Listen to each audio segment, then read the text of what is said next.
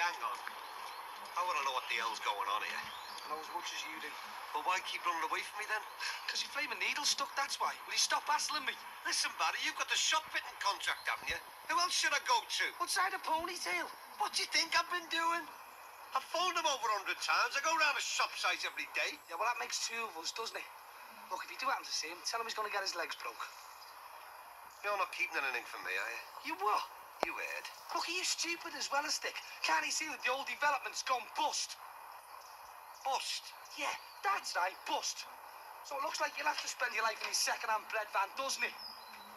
Cease.